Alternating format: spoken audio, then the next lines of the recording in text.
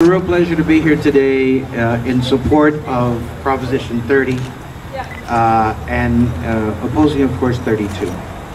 Education is obviously very important to our community. Our community has a great need, and uh, the most students that there are in, in the school district in Southern California, of course, are Latinos. So I, I, I'm for, obviously, uh, Proposition 32, I mean, Proposition 30, and against uh, 32. 32, of course, is the proposition that uh, is very important, I think, to all of us, especially to our community. Uh, I'm a union member, have been a union member since 1975, a long time. And I can tell you that, obviously, my personal opinion is that our country is better because we have unions.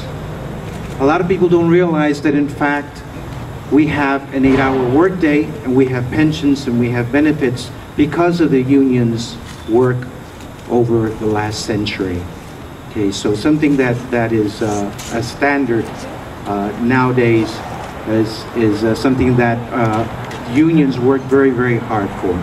Okay, so uh, that's why uh, I am against uh, 32, and I am here in support of this very, very important event.